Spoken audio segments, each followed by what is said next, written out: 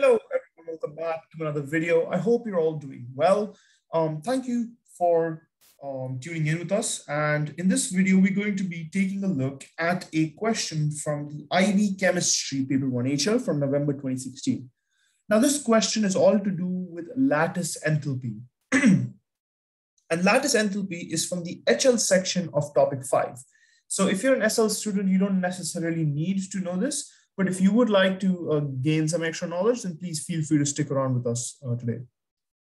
So I have made a video on lattice enthalpy before um, where I explain what exactly it is. And um, it's particularly useful in the Born-Haber cycle. And I've made an entire video about that.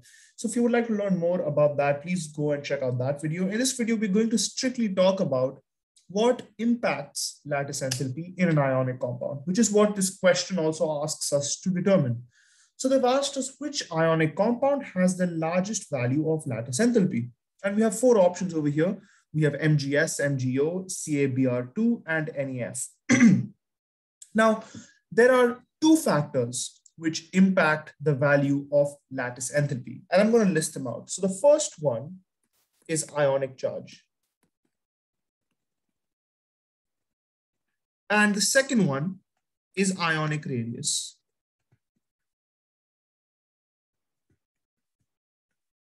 Now, I'm gonna take a look at ionic charge first.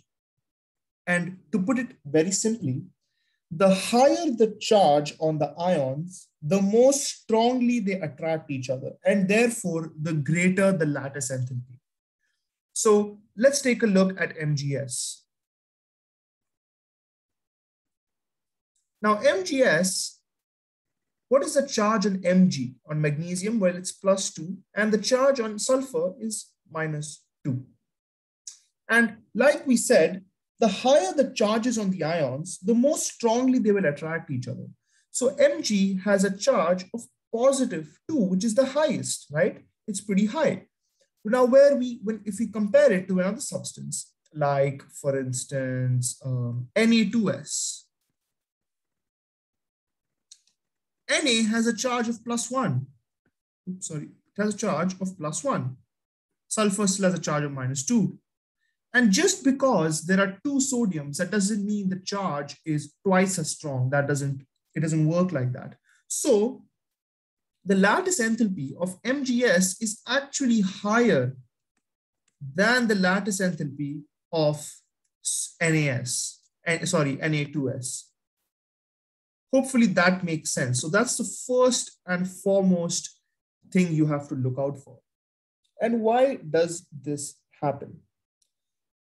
The force between the ions is proportional to the product of the charges. So the force of attraction increases basically as your ionic charge increases.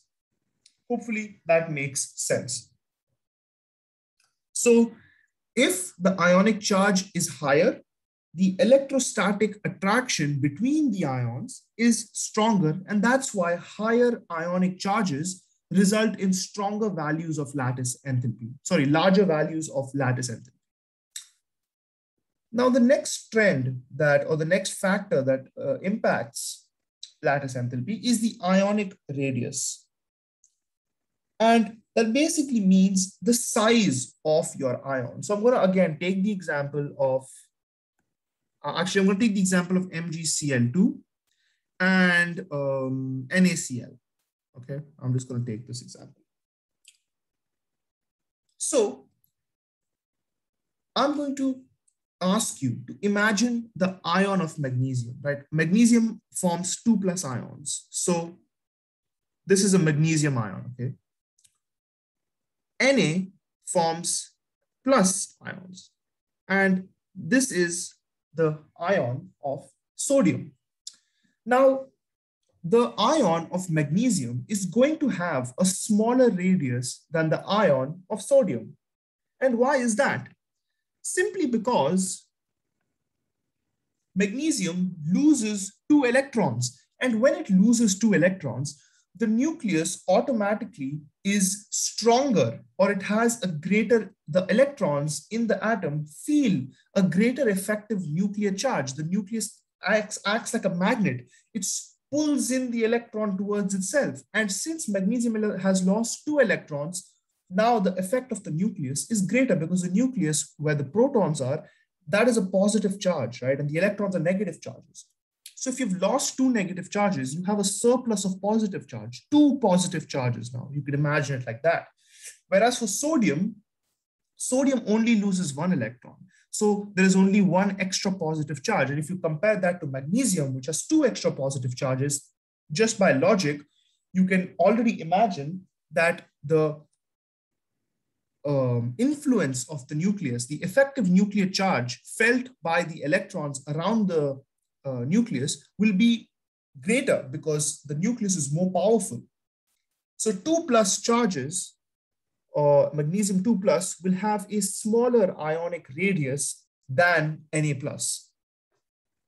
And if the ionic radius is smaller, remember what I said in the previous point, ionic charge, right? Why does that impact lattice enthalpy? That's because the nucleus attracts one another.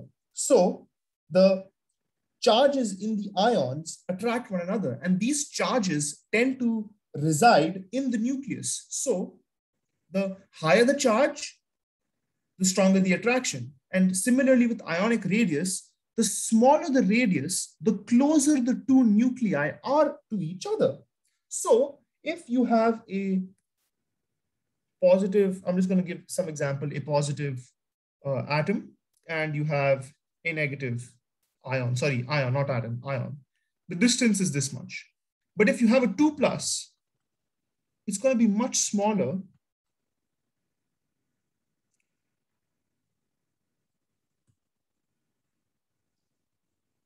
the distance is going to be much smaller since the ion is much smaller itself, right? The distance between the two nuclei is going to be much smaller.